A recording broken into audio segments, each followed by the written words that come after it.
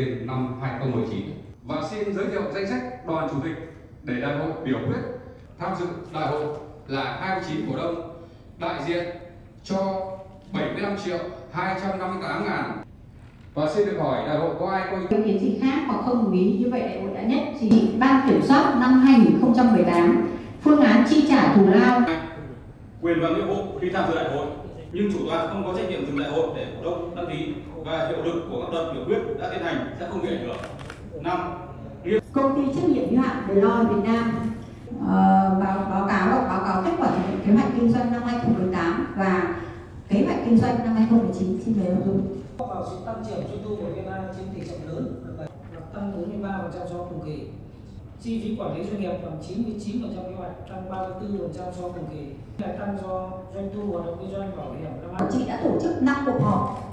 Những ý kiến, khuyến nghị hoạt động không hiệu quả nhằm xây dựng tổ chức hoạt động chuyên nghiệp, bài bản và là nền tảng cho sự phát triển bền vững. Kính thưa các quý vị cổ đông. Thứ hai là liên quan đến việc đưa ra các phương hướng và giám sát uh, hoạt động của hội quản trị và ban điều hành trong năm 2018 thì tôi xin phép trình bày các vấn đề chính đó là không là kết quả thẩm định là 278 quy khen thưởng phúc lợi trong quá trình tham gia chỉ đạo định hướng hoạt động của VNI có phát sinh chi phí của hội đồng quản trị liên quan đến quan hệ khách hàng rộng thị trường. Xin mời các cổ đông nào có ý kiến ạ. Tôi được báo cáo phương án phân chia lợi nhuận trích lập. Đại hội sẽ tiến hành thủ tục miễn nhiệm thành viên 8 năm và báo cáo chi trả thù lao của tổ quản trị, ban kiểm soát.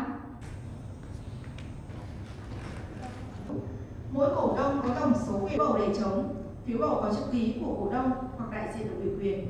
B. Phiếu bầu không hợp lệ, phiếu không phải do ban tổ chức phát, không có dấu như vậy là đại hội nhất trí 100% thông